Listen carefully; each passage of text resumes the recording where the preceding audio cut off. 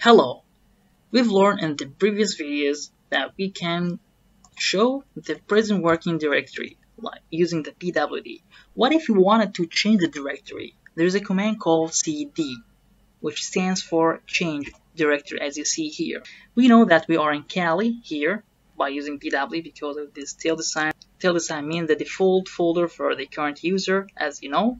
Okay, and if we wanted to change to, for example, let's go for downloads. So I just type D capital O. It has to be exactly the same exactly the same like this. D O W capital and smalls and everything. But there's a button on the keyboard called tab.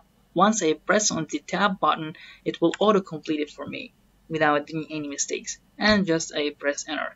By the way I didn't use this if I want here I didn't use this slash sign because downloads is in Kali folder. So I type it directly. Okay. So again, CD, then downloads. CD only will jump to the default folder for the current user or CD and then tilde because tilde means the default folder for the current user. I just press enter. I jump back. Let's go to downloads again or just go to pictures like here. Go to Kali and pictures BIC enter. I wanted to try it with no tilde sign. It's exactly the same works the same.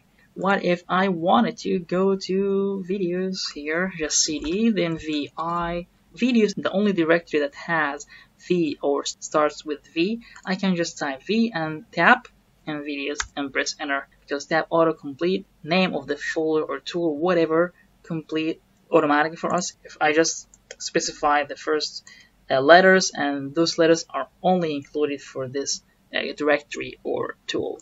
If I wanted to go to the same directory, to the same directory that we are in, we are already in videos. If I just wanted to specify pwd, we are in videos in here, cd dash, I'm sorry, cd and then dot. This command is somehow gonna be useful in some cases. It's worth to learn it. So I press enter cd cd then double dot double dot means move up or go up one directory.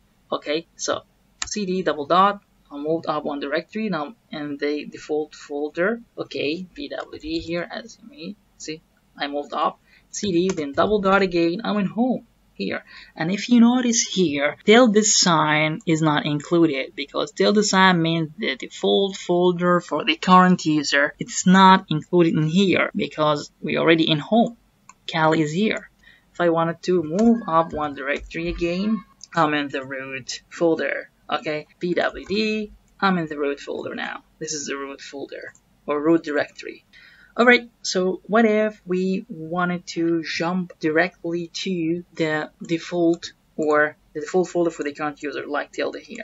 We simply type cd only or just cd with tilde. Again, we simply type cd, then tilde, or just cd. I jump directly to the default folder for the current user, like Kali, home, Kali here, and here I was just in root. Let's try it again.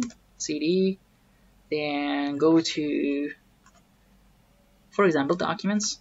So D O C U mm, okay CD and then tilde it works exactly the same.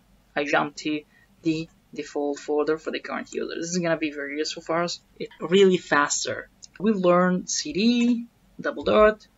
We've learned CD dash no, we didn't learn cd dash. Okay, let me tell you. cd dash, it goes to the last directory that we were in.